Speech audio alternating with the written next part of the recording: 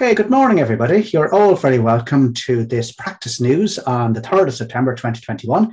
Practice news is news for members in practice, both uh, Republic of Ireland and Northern Ireland. So you are very welcome, presented by ourselves from Practice Consulting. Now, a lot going on in the world at the moment of practice. We'll just move on to what our headlines are today. Uh, the new world of work. Um, no going back now. Well, actually, everybody is going back now and what impact is is this having uh, on, on, on, you? What are the legal aspects of this? What are the practical aspects, the human aspects of going back to work? So we're delighted to have Bláthnaid Evans of Leman Solicitors going to be having a conversation with Jeremy about that in a few minutes. Uh, the SME facing insolvency. Once again, uh, it, it's, it's, it's, a, it's a great time for some companies, difficult time for others. Uh, if it gets to a point where a company is in such financial difficulties that it needs to um, go into an insolvency arrangement, what are the options open? So we're going to be talking to Michael Drumm of Cavanagh Kelly in Northern Ireland, and we're going to be talking to Jim Stafford of Friel Stafford in Dublin about the various options that are open to companies both north and south. So looking forward to that. That is our final our final piece of, of, of the day. So hold on for that.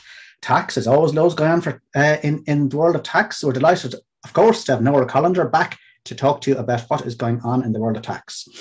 Um, now, some coming items. Uh, sole practitioner auditors. If you are a sole practitioner and you are on the Irish Audit Register, whether you're in the north or in the south, you are going to need an alternate.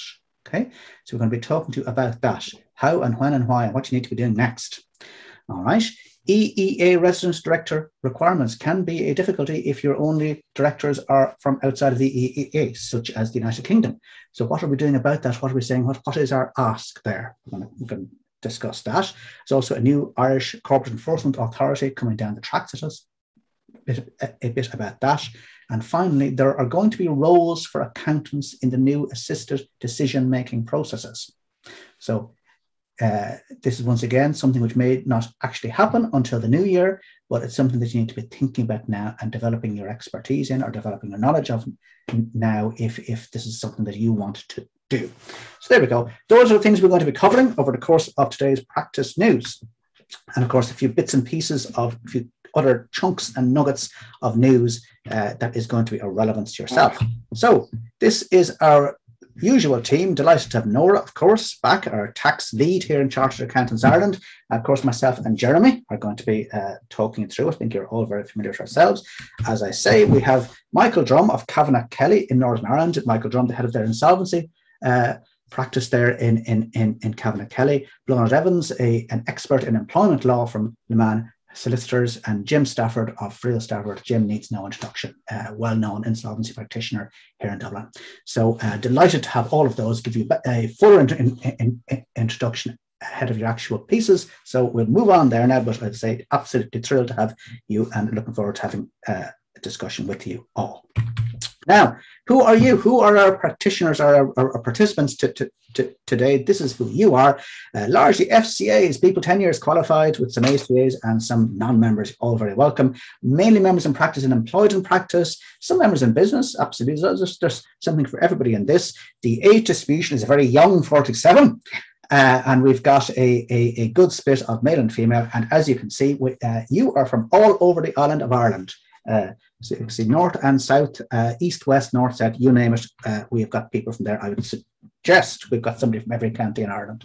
But there we go. So delighted. As always, you need to remember that this is, I mean, we're going to be covering quite a few technical topics in this, but we're going to be covering them at breakneck speed which does mean that they are going to be very much truncated.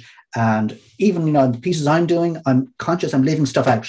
So do go back to the source material when you're going, when, when you're giving advice to clients. But anything like this, this is severe limitations. We're here to raise your awareness of these issues, not to give you uh, the full wax on them. All right, there we go. Now, our update. So I will kick off.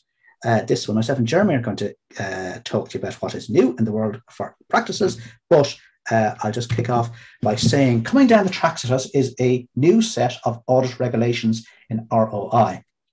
Uh, and now, we've talked to already about the new CPD requirements. Uh, a lot of IAASA uh, indicated requirements are included in these. We've talked about the new, the new CPD requirements, which we're going to hear more about. Uh, but today, what I actually want to talk about is if you are a sole practitioner and you are involved in audit, there is going to be a requirement to have an alternate. What's an alternate? An alternate is somebody to step into your shoes should you become uh, incapacitated or should pass away. Okay, so uh, myself and Jeremy have unfortunately had to had to help a, a number of, of families uh, and, and and so forth over, over time where where uh, where a sole practitioner has passed away, uh, uh, and it's very very difficult when there is no alternate. Okay, it makes it, it, does make the whole process so much smoother if there's a person there who can step in. Uh, it's also a huge protection for the clients, uh, and for that reason, IAASA once again has said, look, this is what you need. it is for auditors uh, up until now, if you have uh, been involved, if you had client money, or if you've been, uh, if you had an insolvency practicing certificate, you've needed to have an alternate. Uh, from now on, just being involved in audit, just being a registered auditor is going to require that on, if you're on the Irish audit register. That's the criteria. It's going to come in in 2022. Now, look, the, the, these audit regs are being drafted at the moment. Uh, so we we don't know the full shape of them or the exact shape of them. So uh, if you ask us a detailed question about this, we probably won't know the answer because this is as much as we know. But we think it's important to get this information out to you as soon as possible.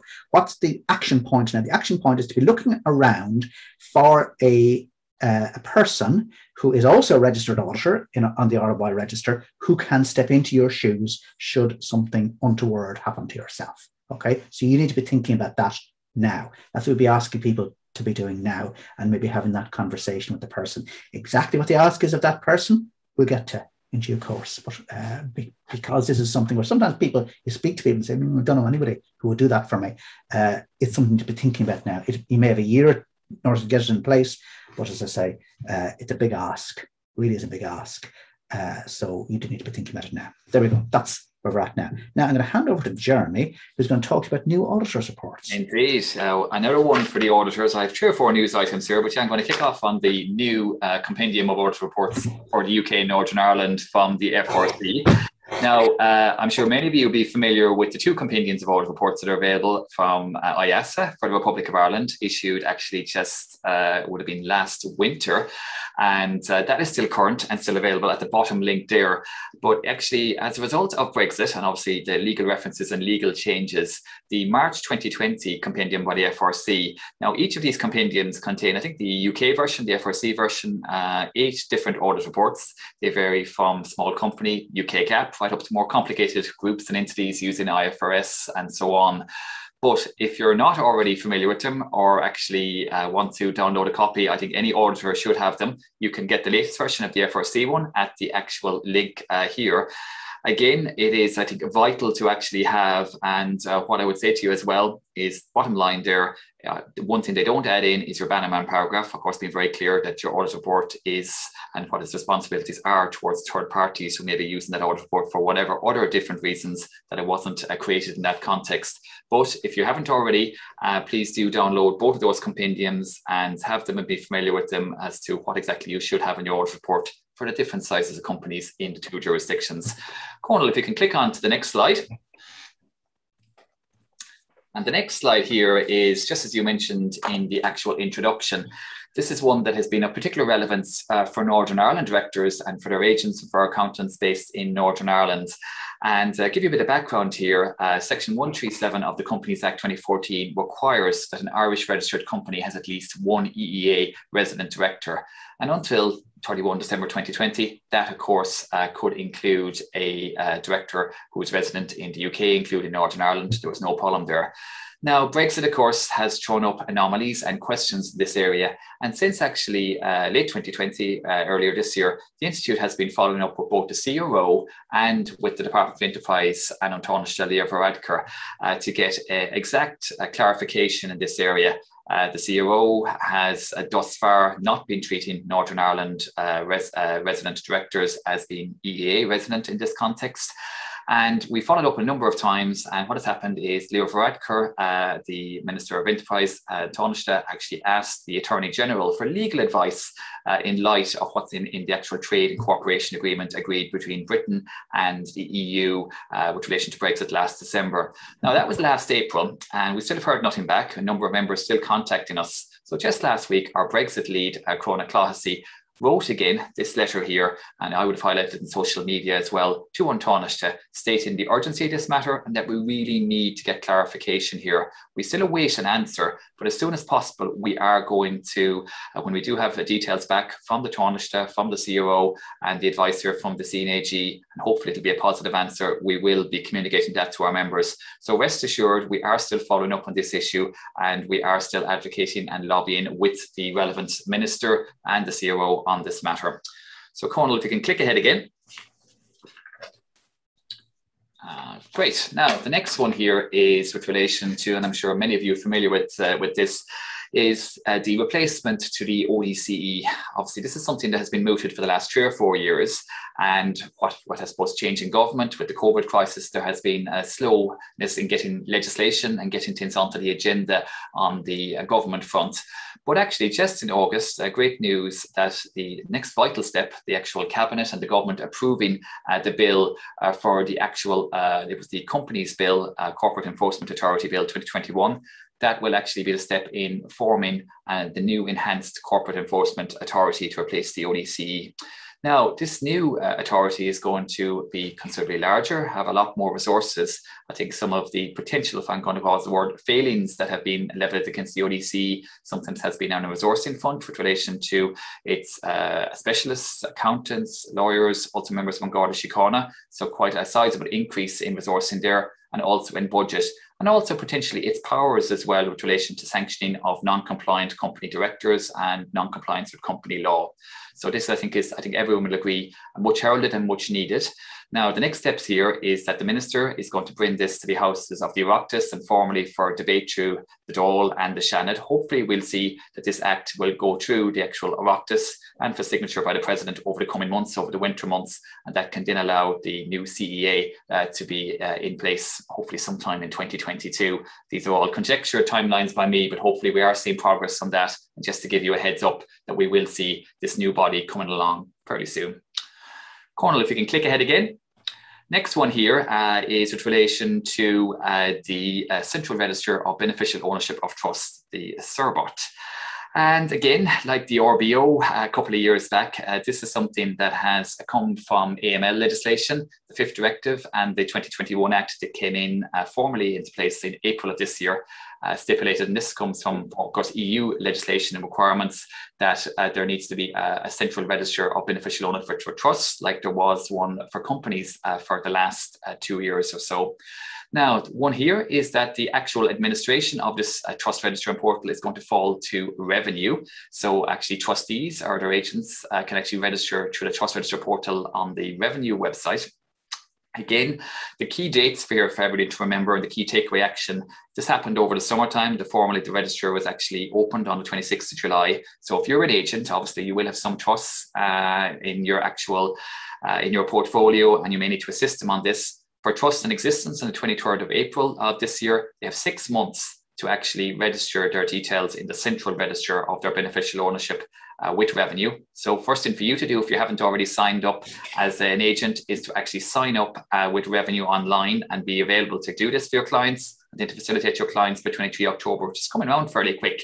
For any new trusts that are created after the 23rd of April, they have that six month window to get everything internally and externally up on the actual register as well. And of course, changes that happen as well, I think within 14 days have to be from the internal register onto the external register. If you want to learn more how to actually register with ROS, what's uh, exactly involved here, click that link at the bottom slide of the slide here and you'll learn a lot, lot more. So that's your one takeaway here. If you do one thing today, register yourself with revenue and be ready to go on this one. Conal, that's my four news items. A lot covered there, a lot of learning for you to go away with as well back to you. I think you're going to tell us about assisted decision making.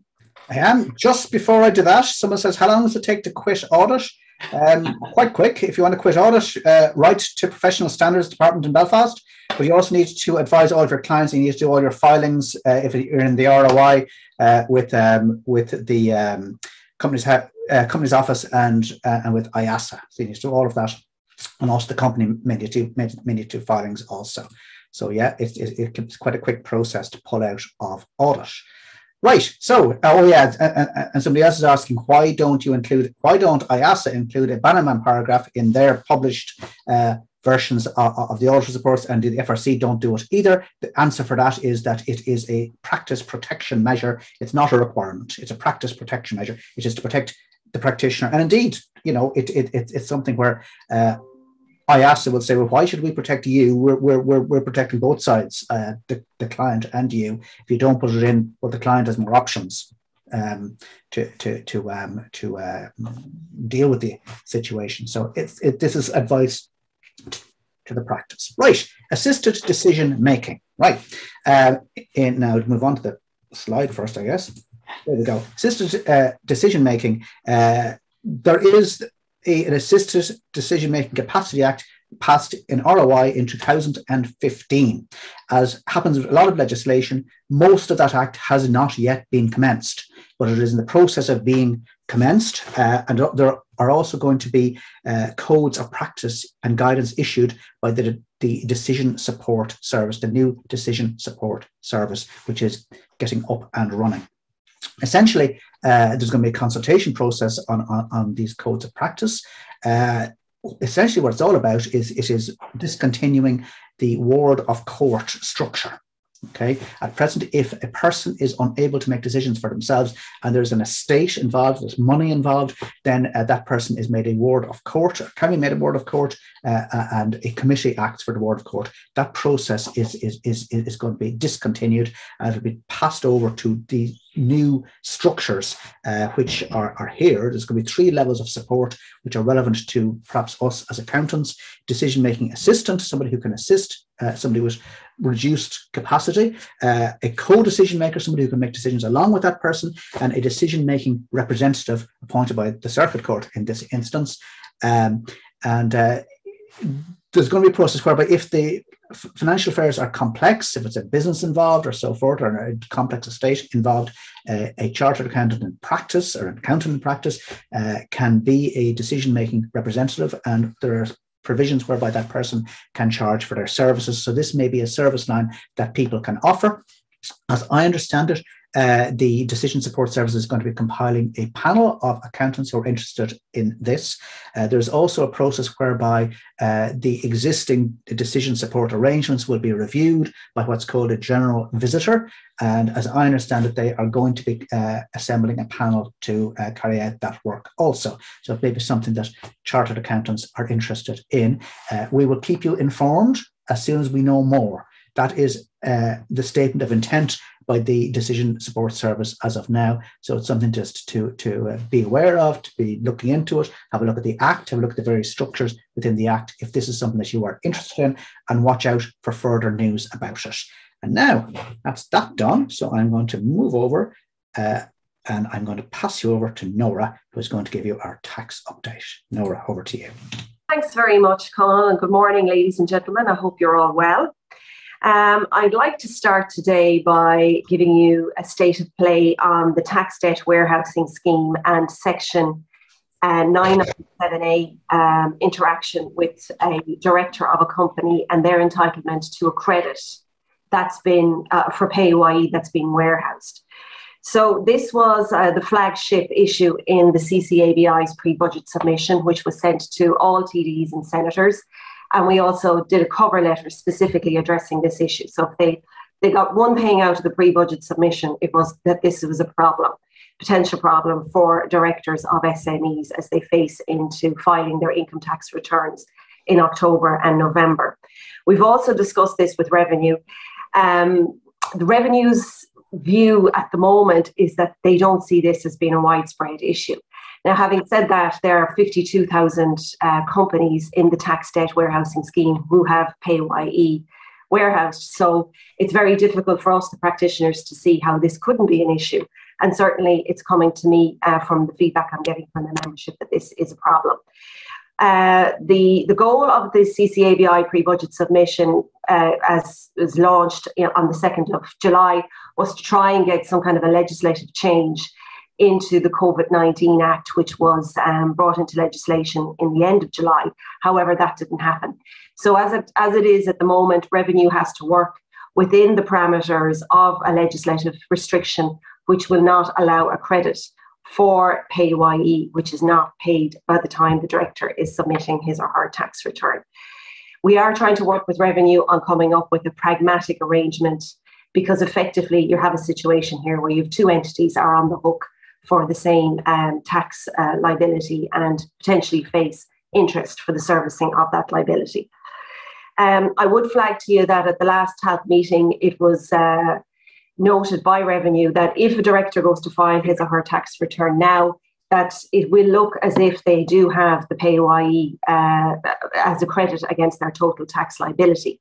And then a caseworker in revenue will compare the file then to the tax debt warehousing scheme, and they then will make an adjustment. So just because ROS isn't uh, throwing up uh, a liability for the director doesn't mean that there isn't a liability because the credit will not be available if the company the director works for has PAYE interest. Um, it's an ongoing issue and we'll be keeping members up to date. Uh, we have TALC next week, TALC elections and main TALC, and we've tabled it for discussion at both TALCs. So we're hoping that we can come up with a, a practical arrangement and a clear line for accountants um, to apply as they advise their um, clients at this busy time. So the next issue there I just want to acknowledge is the tax deadlines. We're heading into a very, very busy season for all accountancy firms.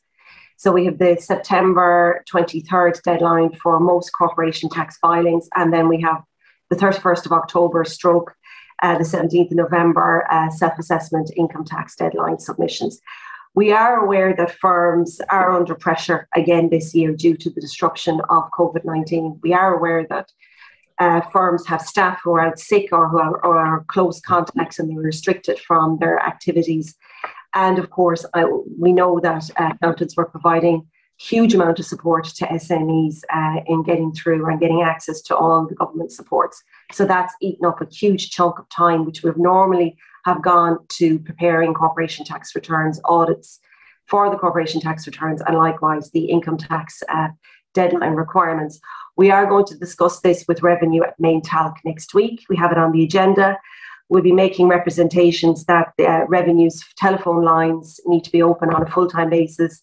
At the moment, most of those telephone lines are open on a restricted basis. Uh, the obvious one is we don't want any more deadlines announced between now and the end of the tax year um, to do with anything uh, relating to wage supports um, bearing in mind what happened last year, where we had the TWSS uh, reconciliation was sprung upon uh, accountants there about in September, whereby reconciliations had to be filed on the 31st of October. So we'll be, we'll be asking revenue to ensure that there's no um, uh, unforeseen deadlines announced. And we'll be looking for the suspension of audits and interventions. Now, that is customary, whereby revenue would suspend field audit activity uh, during the income tax deadline season. So we'll be just looking uh, for rep- making representations for that to be tailored into currently how audits are conducted, which is generally remote uh, auditing and interventions. So please watch out for updates we'll be making um, in tax news and e-news. We'll be keeping you uh, uh, informed of how our representations go with revenue. Revenue are on record by saying that they, they will take a pragmatic approach in dealing with compliance issues, uh, recognizing uh, COVID 19 disruption. So, just then to move on to supports, um, we are all very much aware of the uh, Employment Wage Subsidy Scheme eligibility review form deadlines, which were announced on foot of the extension of the EWSS to the end of the year, uh, as announced by the Minister in June. So Revenue have formalised uh, the eligibility review form process whereby an employer has to formally file a return online and uh, set out uh, their um, turnover uh, for the purposes of ensuring their eligibility.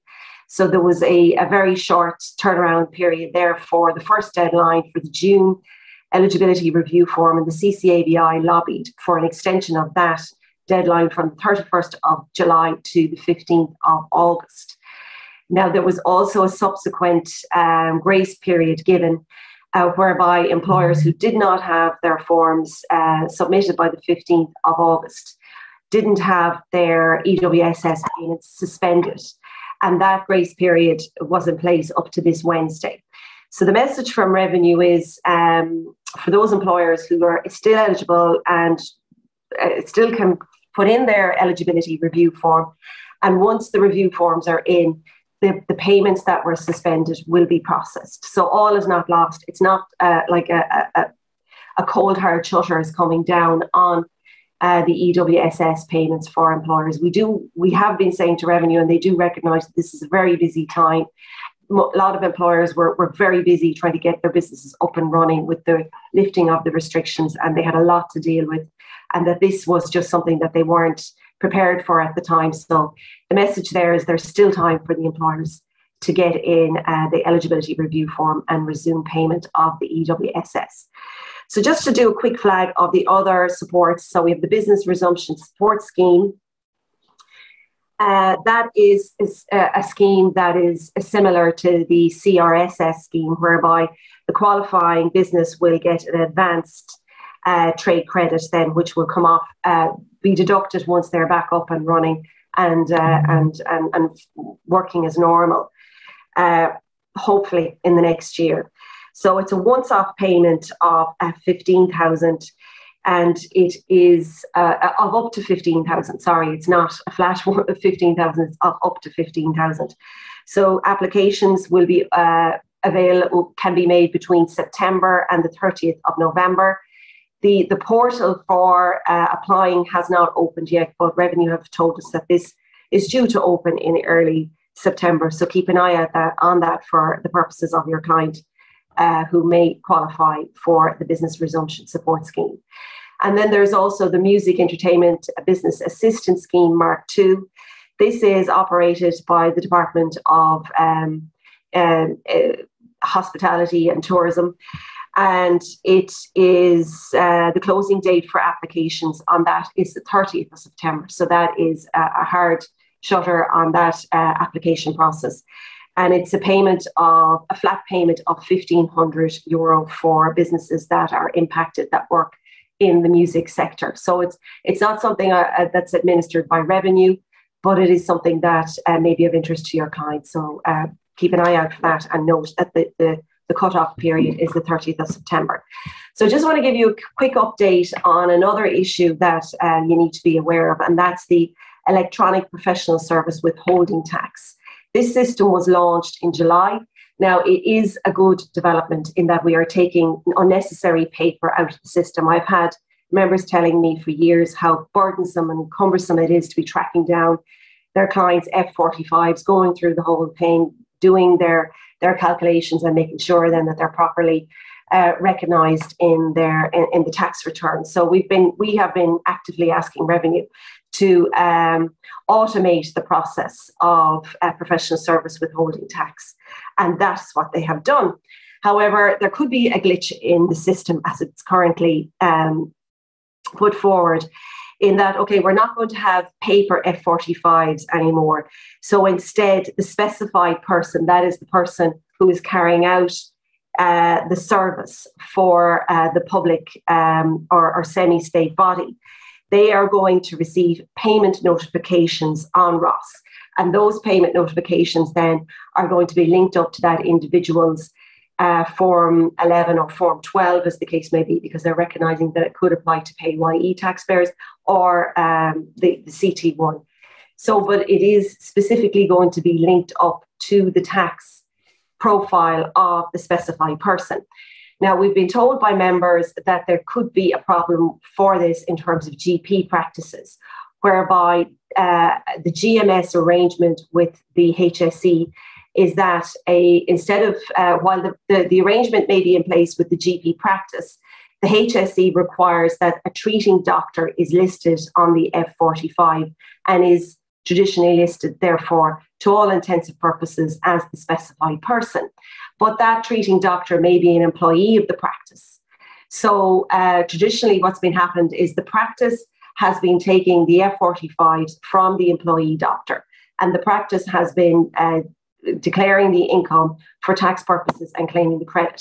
But now, as the, the treating doctor will be named on the notification payment, it's the, the, the credit will be going to the treating doctor who might not necessarily have traditionally been the person who was accounting for the income uh, in their tax return. So, look, we're working with this uh, with revenue at the moment. Revenue are their view is that the specified person is the treating doctor, and therefore they are the person who should be taxable on the income and claiming credit. But we prepared a submission, and we're we're taking this to TALC for further consideration. Um, it is not something that was uh, specifically um, known to revenue at the time that they were developing the system. Um, now we are hoping that we can we can come to some kind of a practical arrangement with this, but this is the situation as it currently stands. So I just want to bring that to your attention. Uh, I think that this probably will come to a head next um, year because the uh, the statement or the the e uh, professional service withholding tax system has been introduced uh, halfway through 2021. So uh, doctors or would be uh, claiming the credits in their income tax returns, which will be filed October 2022. So hopefully between now and then, we can come to some arrangement with revenue on this. But I just want to put you in the picture as it currently stands. I just want to also flag I'm getting questions in from members about difficulties in uh, preparing accounts uh, in respect of asserting, uh, ascertaining the PAYE position of a business because statements don't issue any more from revenue in respect of PAYE. Now, this is something uh, that we have, this, the, the Institute under the auspices of the CCABI have been discussing with revenue since late last year, earlier this year, uh, and they need to uh, develop this uh, uh, uh, on the PAYE system, a PAYE modernization real-time payment of PAYE system. So I have been talking to developers. I have been explaining the uh, the issues that accountants have been I- encountering in this. Uh, I don't believe that there will be um, a summary statement available for in 2021. They are telling me that they are they're hoping to have one in place for early 2022. So I just want to flag that with you that we are aware of it. We do know that this is extremely difficult for accountants to, to try and work out uh, what's going on with the PAYE statement, especially when we consider the year that's gone by in 2020, when we might have had uh, the payroll operator actually running the payroll. It might have been another, um, the principal of the business or another employee stepping into the breach to, to operate PAYE and all the the uh, intrinsities and difficulties that were thrown up the wage supports. So look, that's just a, a, um, a, whistle stop of where we are at the moment. Please keep uh, in touch with us through tax news and e-news, and there will be a lot going on in um, the next week or so because we are in with revenue via TALC. So thank you so much for your time today, and as always, I'm happy to take any queries or uh, if you want to contact me directly with any representational issues, I'll be happy to take those up uh, on your behalf. Norah, thank you very, very much. Uh, as ever, a, a, very, very comprehensive uh, review. I know that there's a few questions after coming in there, and uh, I know, of course, we're coming into uh, that point too the tax deadlines and the pressures that practices are under. So there's a few in, in particular there, as I say to you. What we might say is, I know you're very good sometimes at answering them in the chat function, specific ones or Q and A. And if there's something that we kind of you, you see there in the Q and A, I'll leave you read yourself, and we want to come back and talk about in, in a few minutes or towards the end of the show, we'll give answers as well as I say to you. Uh, but no, thank you very very much for that, and, and I suppose thank you for all your, your efforts as well in dealing when I know a very busy period coming up with uh, with revenue. There was one question that was just raised there uh, by Fiona and uh, in uh, one of our attendees today about uh, tax deadline season, but also uh, having been nominated by professional standards for a monitoring visit or a compliance visit, I understand. Now, if you do happen to be in that situation, my understanding is, of course, you can uh, discuss with professional standards and look to reschedule a visit. Uh, usually, they're quite accommodating in this regard. Mm. Um, so don't feel that you're obliged that you have to just because they they contact you and say they'd like to have a visit in a few weeks or whatever. That if you can outline reasoning why, and obviously the deadlines and the work you're coming under and the particular pressures your firm is under, you can discuss this with them. And usually, they're very accommodating to find a uh, a time that works for you both. Uh, it's, uh, as I said to you, it could be a, a, couple of months down the line, whatever is like that. So, Fiona, uh, what I'd say to you there is do talk to professional standards, uh, do uh, outline your situation and do try to uh, get, um, as I say to you, um, extra time if you need it. Uh, so hopefully that will work for you. Absolutely, yeah. Um, and I think Fiona has put in something else there as well. So it's something we may we may take up off, offline. Uh, but as I say to you, um, that's that's that one there, and that's what our general advice would would, would be on that one, Fiona. But happy to uh, to take a, a, a, chat with you offline on that as well if needed. Listen, on that one, I'm going to uh, say thank Norah, and we'll be, I'm sure we'll be back to it later on in the show. But it's time to uh, to move on. And our next actual uh, part here today is with relation to. Um, the new world of work. And I suppose a topic that's very, very timely, uh, as uh, particularly this week in uh, the Republic of Ireland, we have the Irish government setting out uh, the end game, we'll call it, or the wind down of uh, restrictions and what, when it's likely and so on. And of course, that impacts the return to the office. Of course, we're, we're all familiar with a lot of small accountancy practices and so on have had a presence and have been back in the office for a very long time, maybe not in full capacity, certain staff working from home, different things like this. And really, uh, this is a very timely and a good opportunity as we emerge from the crisis now. Hard to imagine 18 months since uh, March 2020. The world of work we face is dramatically different to uh, the world of work that we entered uh, this crisis. And um, I'm delighted to welcome back uh, Evans, who is Head of Employment and Immigration with um, Leman Solicitors. And I know, Bláthnaid, uh, you joined us, I think, about a year ago as well. And at that stage, it was the, the tin of getting back into the office. We're more looking at the practicalities, different things after the first uh, three months actual uh, lockdown. And uh, myself and Bláthnaid had a chat earlier on in the week, uh, just planning out this, this talk and different things. And I suppose one of the first things really is where we're talking about the experiences we're seeing in I'm, that I'm seeing in talking to small accountancy mm-hmm. practices, uh, the different options that are there with relation to uh, in, an entire return to the office, maybe a hybrid model, maybe people that wish to work entirely remotely. And then we were sharing experiences that Bláthnaid you're seeing in your own firm and also in dealing with clients. So I suppose the first thing really is over to yourself. What are you what are you seeing in talking to clients in your own firm? Your experiences of what models are out there and what's uh, what's potentially on the table there, and I suppose what are the challenges and opportunities in those. Yeah, sure. Um, morning, everyone, and, and thanks very much for having me um, again today. So, um, there's a real mixed bag, I suppose, out there. Um, and I, I think given the sort of recent government announcement um, this week, we will be seeing more of a hybrid model. But I mean, what, I, what in my experience and what I've seen from clients, and certainly, you know, we've seen the stories in the newspapers, um, that anybody that has has rushed and made the decision and a firm decision to say, you know, this is the way we're going to do it. For example, everybody has to come back to the office. It hasn't worked um, and it's nearly acted as a sort of um, an anti-recruitment tool for that organization um, because people know now you know you can do the mixed piece of you know hybrid working working from home and in the office. Now certain people it, it definitely suits them to be in the office. You know potentially they've too much going on at home and they're too distracted. But likewise you know for some people it suits them more to be at home. So um like from my experience and what i'm seeing with clients and what i'm recommending is don't make a firm decision.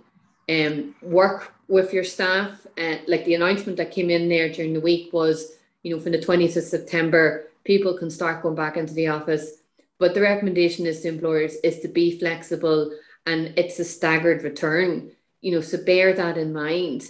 Um, you know, it, it you know, there might and don't get me wrong now, there's certain there's certain areas within businesses where you need them in the office. You know, I mean, one thing, Jeremy, we were talking about was, you know, like trainees, so trainee accountants, trainee solicitors, you know, people that are learning. There is no better tool than sitting beside someone in an office and osmosis. Um, and unfortunately, you know, they're the type of workforce that have, I think, have really suffered um, in in all of this. And you know, I can even speak from my own experience. You know, I've I find it difficult, and I've had to really adapt and you know, and how we approach this. So you know, what I would recommend to clients and, and what certainly what I'm seeing people doing is, you know, even before this announcement was made was, you know, talk to your staff, you know, see what they want to do. It's not that you're saying the staff dictate, you know, what happens, but it's, you know, okay, what would you like to do? You know, we're we're looking at a hybrid model. You know, if we do it, it'll be on a sort of a temporary basis of let's say two, three months, see how that works um, and you know there's no firm decision And by making it, you know, by making it clear that it's temporary, it means that if it doesn't work for whatever reason, you can pull it back, you can go more in the office, you can, or, you know, sort of look at what, what particular sort of work, you know, work makeup works for, for, you know, within the organization. And the other piece, which I would say is, is really crucial as part of this, um, and I know a lot of clients haven't done it before now, but I, you know, I would certainly recommend it you know, now that we have the government announcement of, you know, recommending people to go back into the workplace, um, is to have um, a working from home or a hybrid policy. Um, and, you know, within that, you will have the conditions of people being able to work from home, which includes, for example, the need for people to do um, a risk assessment if they want to work from home. A risk assessment does need to be done of their workspace at home. and um, this can be done virtually. Um, you know, and like, and then on foot of that, it means then, you know, if an employee says, okay, you know, I want to work from home for X amount of days, you'll say it's on the condition that you do your work on the workspace whereby a virtual risk assessment was conducted. And it's not, you know, so then, and, and the reason for that is as well for employers, it means then if an employee, for example, did a risk assessment of, you know, their workspace at home on, I don't know, the kitchen table or perhaps a desk, and then you find out that they've actually been working in the bed for the last six months and they've got back problems. And um, that helps an employer in terms of a defense with any sort of potential liability for, you know, some sort of back injury that an employee might try to claim. And it keeps the perimeters of it. And it means then, you know, an employer will have a potential to sort of pull back on that employee working from home if and if they haven't sort of stuck to the terms of the of the working from home policy. Um, and likewise, you could put you, you could put things into the working from home policy that you know if an employee's performance is is under review, you know, for example, if they had to be put on a performance improvement plan, then they would need to be in the office more for that because obviously it's very difficult to manage people when they are working remotely. Um, and you know the, the better chance for both both the employee and the employer would be that they're in the workplace rather than than working from home so um, that's the sort of the main sort of points I would sort of see that are, are coming up in terms of sort of planning the return to work and you know thinking about how, how to do this this safely. No, Bláthnaid, you've you've covered a lot there, as I say to you now, and you're right. I think that the overall my feeling on things, just like it has been throughout this crisis for government, for everyone else, is you have to take this slowly, feel your way into things. Uh, it's a, it's a, it, we haven't had a past example of this. It's a it's a new model of working, and every firm will have a different approach. And I think you so hit it on the head there as well. And we do get people from time to time ringing us and contacting us and say, I want to bring my staff entirely back into the office. But if you don't uh, have that collaborative approach with relation to working with your staff, the issues they have, as you said, no, you cannot have any staff member who will be told and you totally to ransom, but you do need to work with, with your staff in this regard as well. And I suppose some of the things we've all been on the, the negative law in relation to um, the employment situation, getting back to the office and different things. But I think some uh, practitioners and some uh, employers, uh, particularly, are seeing this as a very much a positive as well, in that it can be an opportunity, particularly if you're in a more rural area or if you're in an area where it was difficult to hire staff before, where it opens up your actual whole opportunity to hire staff in a much wider geographic basis or maybe capture people who might be relocating from Dublin out into wider Leinster, uh, wider Munster, Connacht, wherever it may be. Suppose there's great opportunities there too. Are you seeing that with clients who are playing it smart, really? Oh yeah, for sure. Do you know it, and even from sort of access to the market, you know, in terms mm. of clients.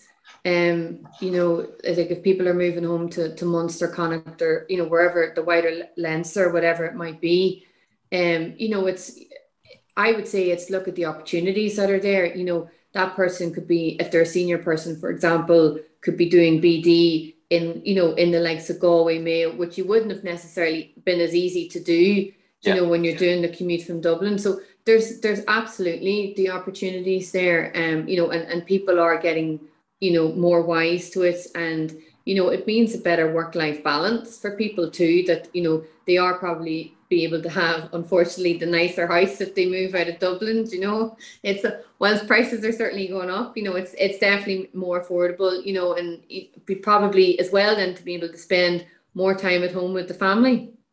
Indeed, and that's I suppose there's a flip side to it as well. I always tend to go on to the negative. If you are that employer as well, I think who is going to insist everyone to come back, but you are now in this new world where people can work remotely. We're seeing, um, I even see it in the Leinster Society survey yesterday on, on salaries, and we see it in the employment market where there seems to be a lot of people thinking about leaving their jobs, a boom with relation to professional services and financial services, uh, employment and accountancy as well included in that where your staff could be poached from you. So you need to show that flexibility, even from a defensive viewpoint, I feel as well, is, is a good thing as we, I suppose, emerge from, from this crisis. Now, before we, we move on with different things, one question I suppose that always kind of comes up is with relation to the practicalities. And I know it's, it's, a, it's a minefield of an area with relation to staff coming back into the office, their COVID vaccination situation, different things like that, as I say to you. Now, I know we have to see more definitive guidance on this. You probably have uh, employers on a regular basis asking you, what is my status, my situation here for asking employees on their vaccination status, or how do I suppose how do I satisfy employees coming in who are vaccinated but they're worried others mightn't be, and the risk then in their actual um, in their actual role they're in, or maybe some have a role where it mightn't that they, you can't have them in that role anymore because they're not vaccinated. And I'll, I, lots of things I've thrown out there blowing it, but you, you may have thoughts on that. Yeah, the minefield question. Um, so I there has been guidance that has came out to say the only time you can ask if somebody has been vaccinated is if they're a frontline worker. Hmm. So if you're not a frontline worker, you can't force the information because you have to remember it's sensitive personal data. Now, so so bearing that in mind, you have to look at the bigger picture. Um, you can still get COVID even if you're vaccinated. So the vaccination is one of many factors that an employer, you know, well, not an employer because obviously it's the, it's the individual's choice to have the vaccination, but it's one of many factors in terms of sort of ensuring a safe place and a, a safe work environment. So, you know, obviously, if you knew what people if they've been vaccinated, it would obviously give comfort to the employer to know that staff are vaccinated. But you have to sort of look at it that okay, they may or may not be vaccinated but let's look at the workplace. What can I do to make this safe? Look at the return to work safety protocol.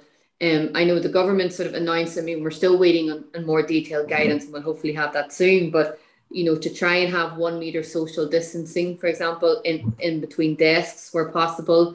Um, you know, and if you can't do that, perhaps it's looking at a sort of a rotation. You know, you might have one team in one day um, and, you know, another team in another day you know, the insurance of good ventilation within the office, um, you know, windows open, face masks available, you yeah. know, all the other factors all need to be sort of considered. Um, and then, you know, if if an employee, so so once you have all of that in, it, it means if somebody is vaccinated, it's nearly a positive. Um, yeah.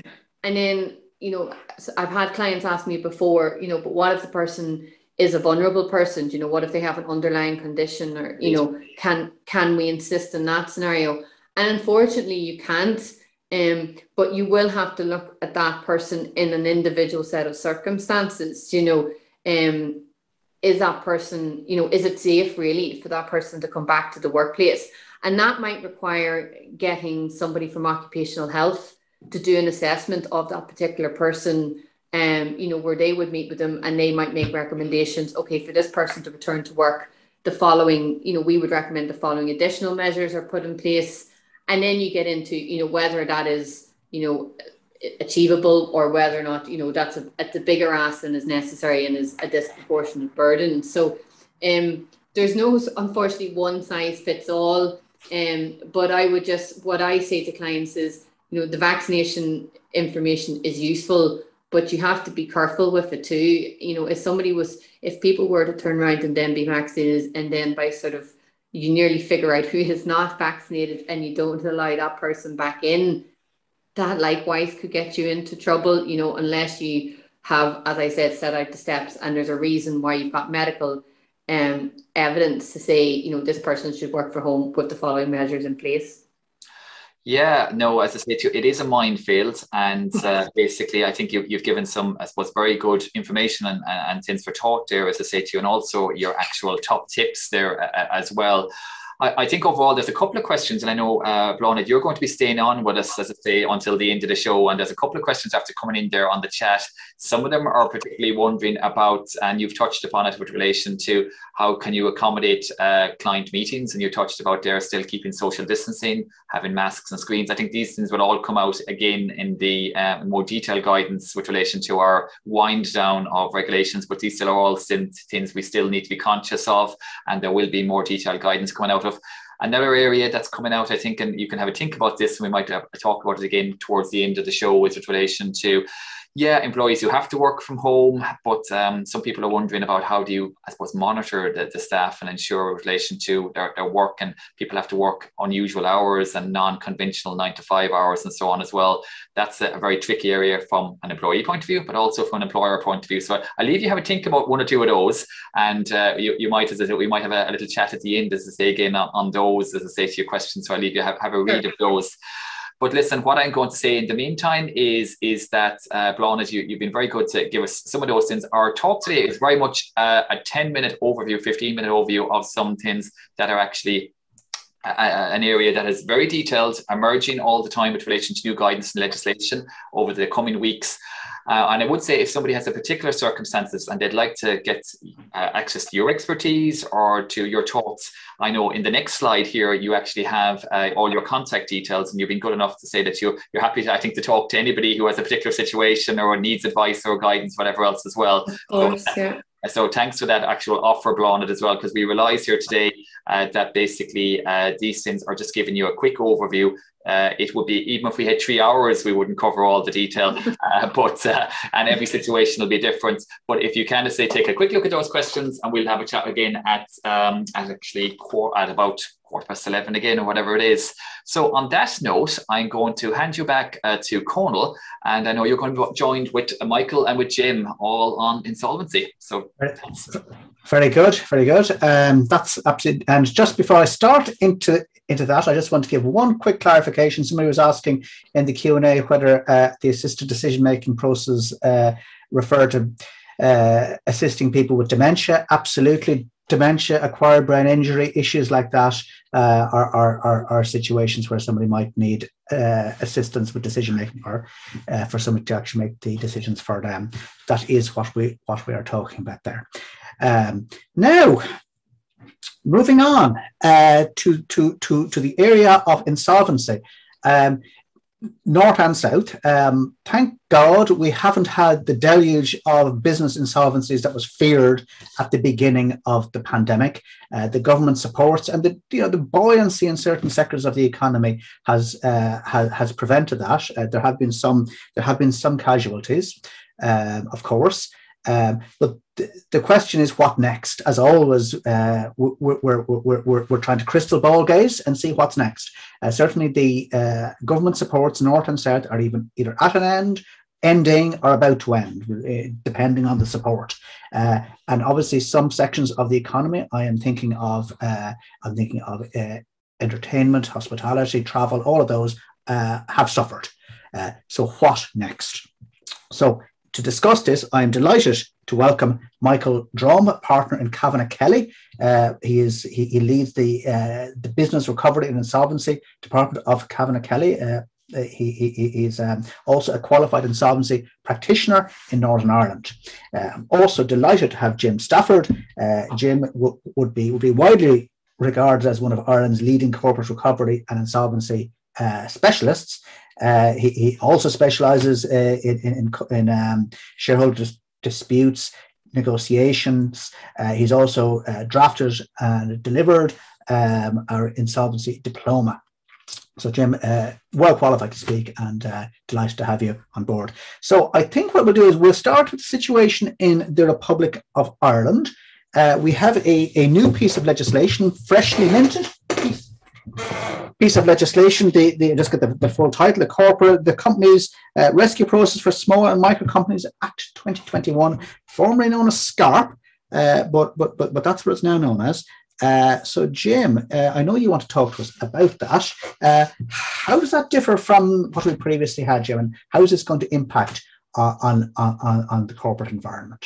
Well, I suppose one, one of the few benefits of COVID, Conal, is that it prompted the government to finally expedite legislation to introduce a low cost rescue mechanism for corporate companies in this country.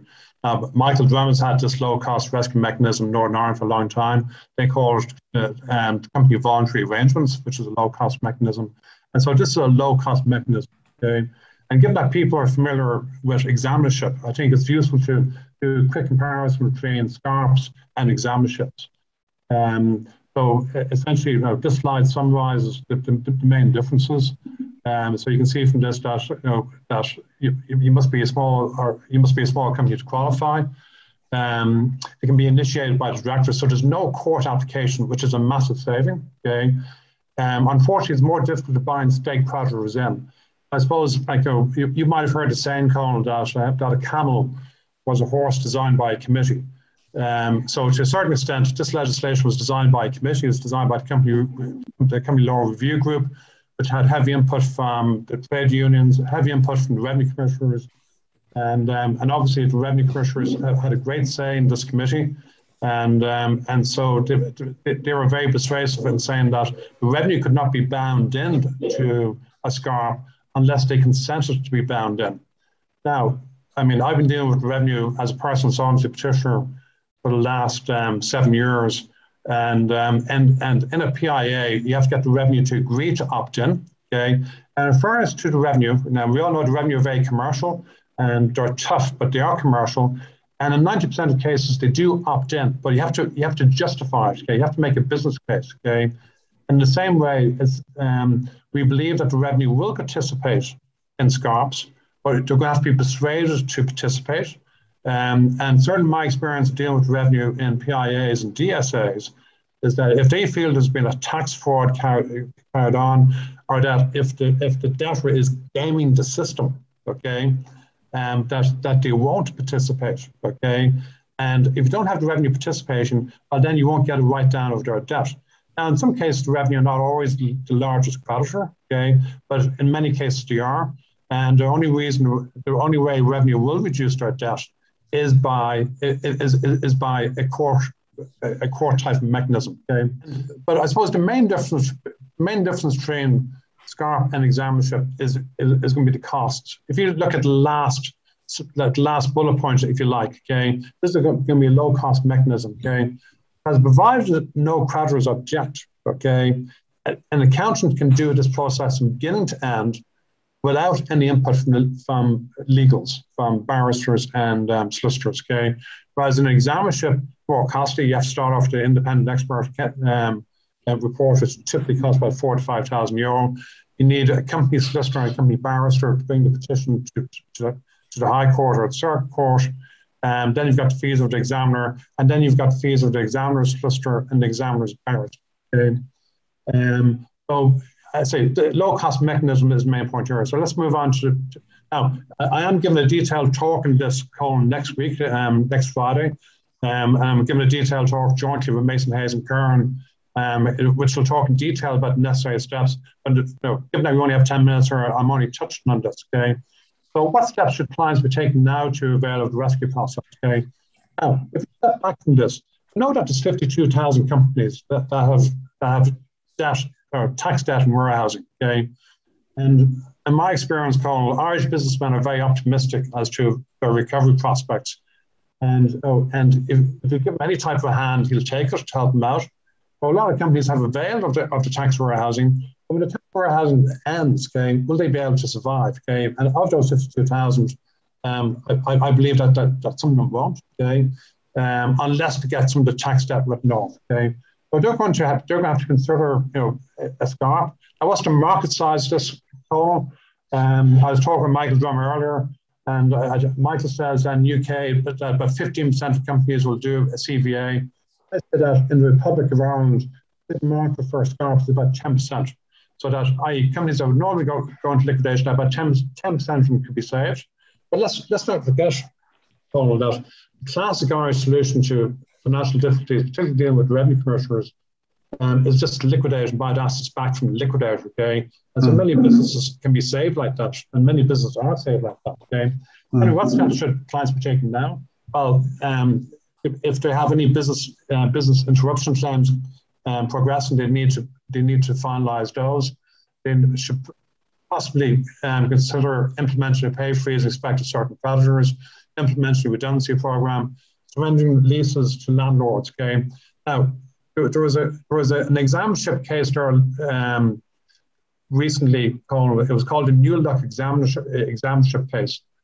And one thing about these court cases when they come out, they, they nudge the boundaries a little bit and they give us new lessons. Okay, and what we learned from the New Look examinership case is that you shouldn't really go into an examinership. In this case, you shouldn't go into a SCARP process with landlords. Okay, unless you engage with the landlords pre the process some landlords might actually do deal. Okay? You might have to go into SCARP. Okay, um, so very important to engage with landlords now. But some, la- some landlords might engage, and what we're doing at the moment as a practice, even though SCARP isn't effective, okay, we're using it as a negotiation tool to convince landlords that if you don't accept this deal, we will go into SCARP and force you to accept a, a deal and get a dividend anyway. So, do, so what do you want to do? In the same way that that we use PIAs, that we use the threat of PIA to persuade a vulture fund to accept a dividend. We can say to the vulture fund, well, if you don't do this, we're going to do a PIA and you can get less than a PIA. What do you want to do? So SCARPs are a very useful mechanism to, uh, or the of doing a can be a very useful tool to persuade creditors to, to, to, accept a deal. Okay, but definitely engage with landlords, particularly retailers. Okay, evaluations of buildings, plant machinery, bring management accounts about um, one thing I've learned from PIAs DSAs with revenue, the revenue will not talk at you, okay, and will not agree to opt in unless all tax returns are submitted, period, okay. So all, all CT1s, and, and one, I remember one PIA, they, they even insisted that RTT or RDDs on VAT returns have to be submitted as well. Make sure all, all VAT return, all tax returns are submitted. Um, if you have, if your operation, of bank account is an overdraft, let's say 50,000, you might, you might need to open up a new bank account with another bank to avoid sell-off issues because you know, as you deposit money, is the, the bank might um, have no automatic right to sell off all that type, all, all that type of stuff. Um, the big issue for SCARPs would be retention of title um, clauses. So you, need to you need to consider them. And Conal, if you move on to the next slide. Okay, and then commence preparing a pack of information for process advisor. Remember, a SCARP, a process advisor only has 42 days to pull its scheme together. So he has to get out of starting blocks very, very quickly. Okay. An exam should be kind of 100, 150 days. Okay. So basically, I mean, we don't plan to do any SCARP unless we more or less have a scheme more or less devised from the outset that we know what we're going to propose. Yeah. By the time you notify creditors, they come back with proofs of debt. 42 days goes very, very quickly. Okay. So you need to be organized and, and you need to have, I've got a list of information there to give to the process advisor, obviously appointed experience and so on, to guide you um, through the process. And um, some companies are facing, facing financial difficulty now, and investors might be considering putting money in now, Call okay?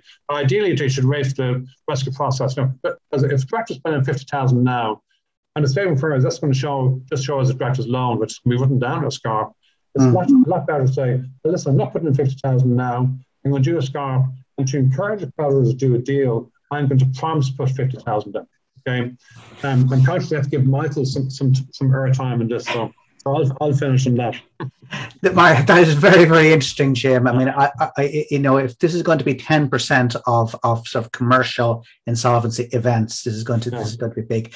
Michael, how does this compare? I just get back to uh, we don't have us. We just get back to it now how does this compare to the situation in Northern Ireland? There was uh, legislation last year which brought in a, a number of, of, of, of, new structures, if, if, if, if, you like. Certainly, the one that we were talking about uh, when we were talking earlier was about moratoriums. How are they looking now at the moment, Michael? What's what what's going on in Northern Ireland with, with that? Or I mean, how would you compare that to the situation in the Republic, if you like? Hi, Conal. Thanks for um, having me on. Um, yes, I suppose back in June 2020, there was, I suppose, wide-ranging changes to the UK um, insolvency legislation. Um, some of those were, I suppose, planned um, pre-COVID um, and were effectively now permanent measures, whilst I suppose some were brought in as temporary measures as a result um, of COVID. So, I suppose in relation to some of the, the more the permanent measures, some of the key ones there, whereby there was a new um, moratorium uh, procedure brought in, which effectively provides um, companies with um, what I suppose is a, a, breathing space to provide them with time um, to review other um, rescue options. Um, there was also a restructuring plan brought in, which was similar to, I suppose, the old scheme of arrangement, probably more likely to be used in, I suppose, complex uh, restructuring and debt financings. There's only really been a couple of um, restructuring plans engaged in, I suppose, more in, in England um, at a very large scale. And I suppose the moratorium procedure, um, I'm not aware of it being used much at all, really, um, probably because of a result of uh, the various um, government support schemes that have been in place that have supported businesses in other ways. And there's been um, at the moment, anyway, um, I suppose a reduced um, need for that. I suppose some of the, the temporary measures that um, have been brought in have um, supported um, businesses and kept them afloat. primarily, I suppose there was a, a restriction on the filing of uh, statutory demands and winding up petitions, where it could be proven that the difficulties or the the, the debt was related to COVID.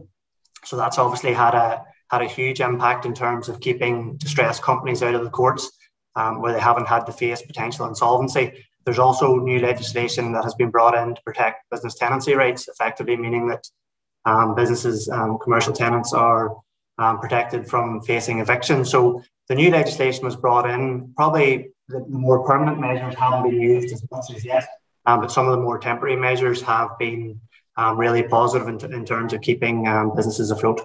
Absolutely, yes. So it's it's it's um, yeah. I mean, I, I suppose there's a sort of general theme that people will, will go for the simplest measure first, and I think that, that, that that's probably a common theme north and south. Um, I suppose in in both areas, I guess you cannot keep an unviable business going. So, you know, in terms of that, you're you're you're, you're obviously saying, look, I mean, during COVID, it's good that businesses are are, are rescued, are, are, are kept going, but what do you see next, Michael? What what do you see next happening in, in, in terms of those supports? What what what are the, are the pressure points?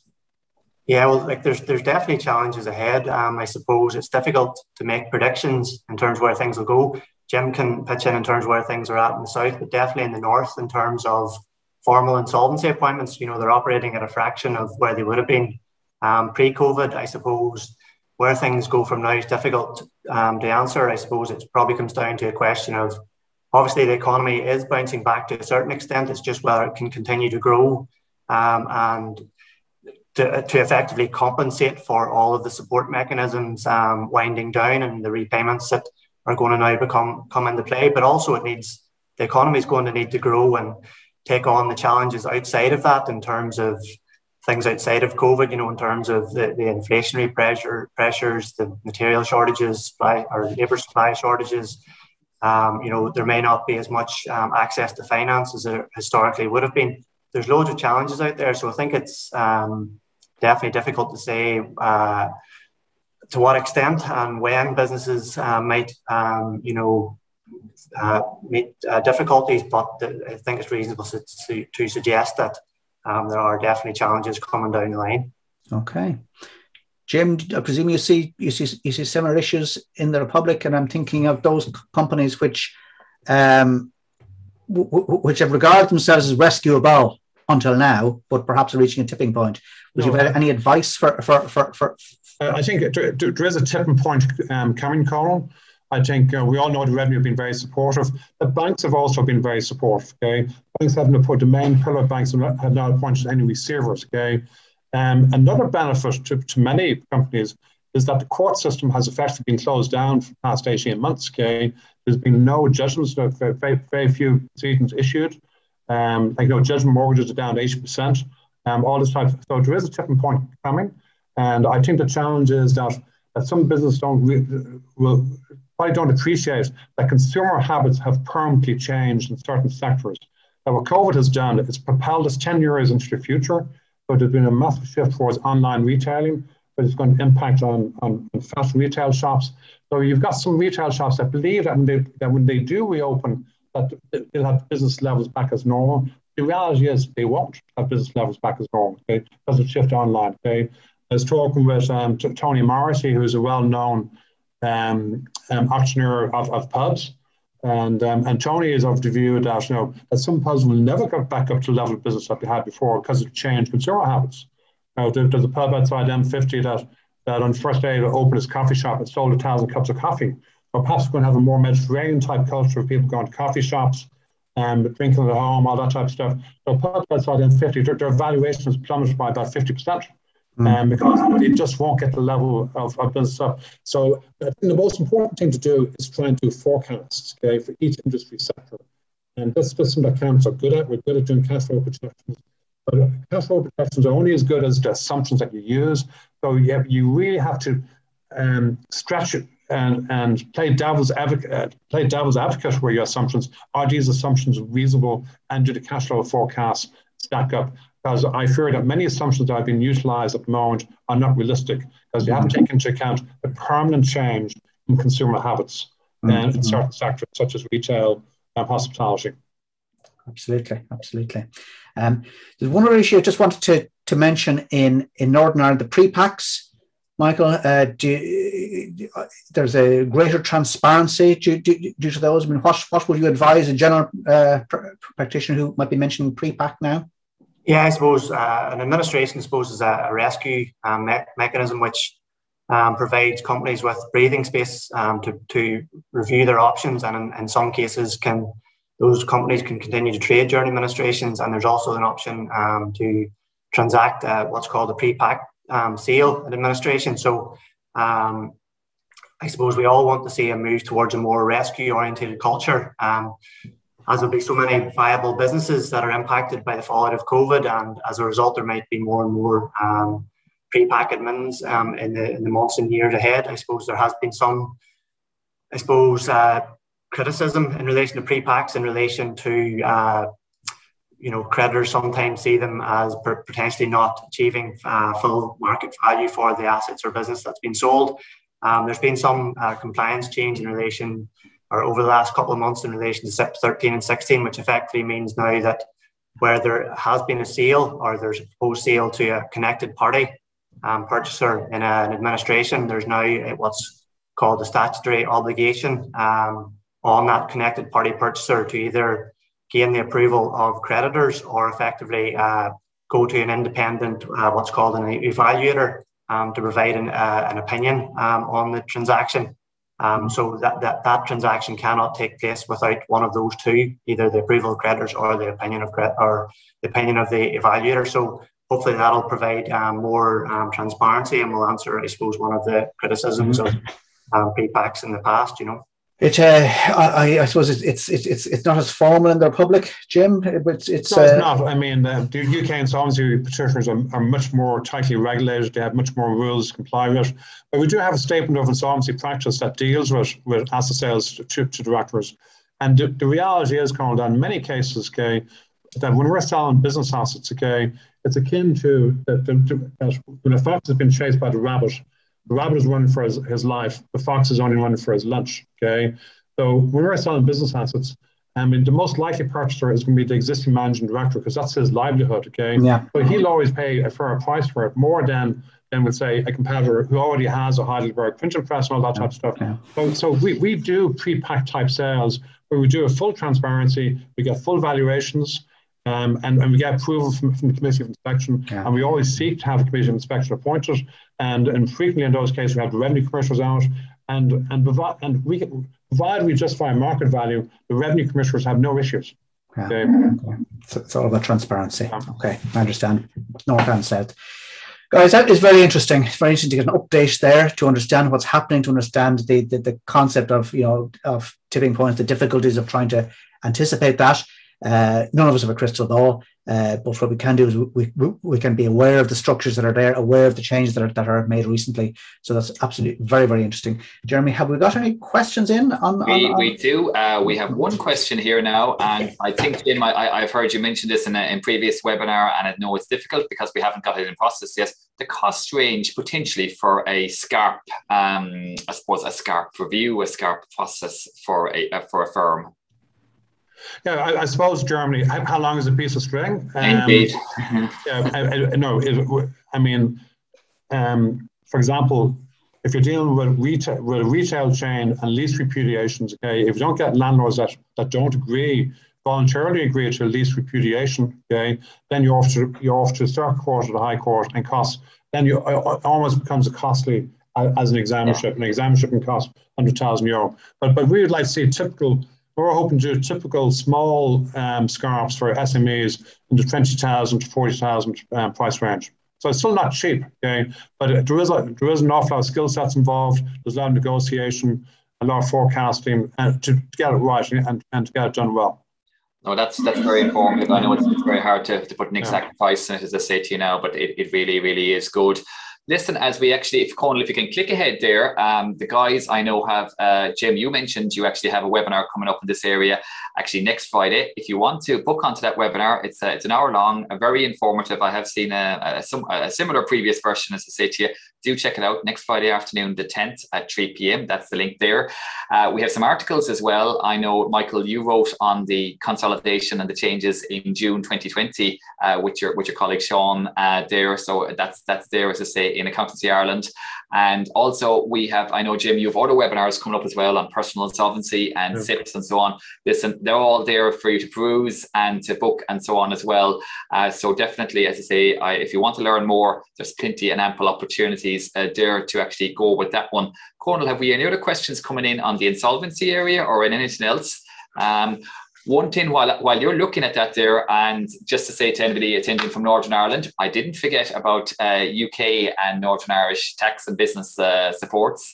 Um, just to say we have some information here and some links. I'm sure a lot of you already get the Institute Tax newsletter, uh, but we have some updates every week and so on. Uh, this week, I think particularly around the SEISS 5 and then the grants uh, and, and so on there. You can get all those at those links.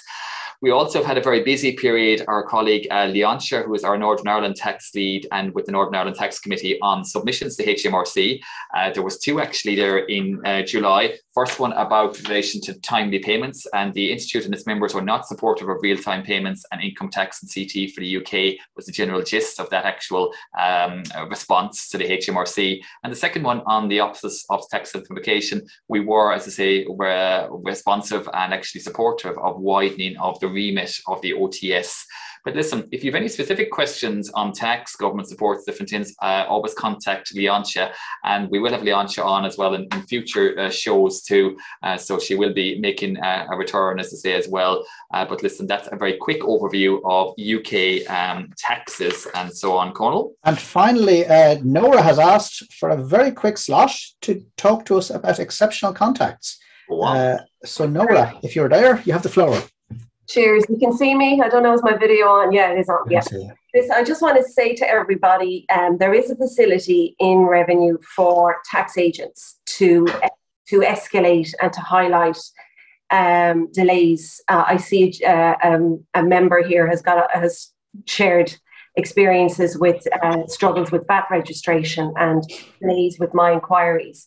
The my inquiry service standard is 20 days uh, they they need to come back to you within 20 days. And likewise, at, at peak times, it's 25 days.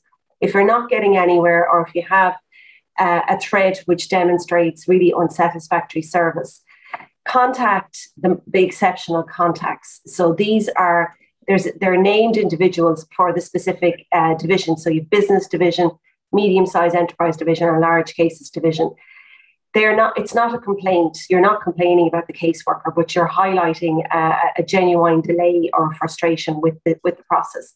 And it'll be dealt with in real time. They're the managers of the particular divisions. There's a team of people there. That's why they don't provide a telephone number. They provide an email. So it's a number of people watching out that email.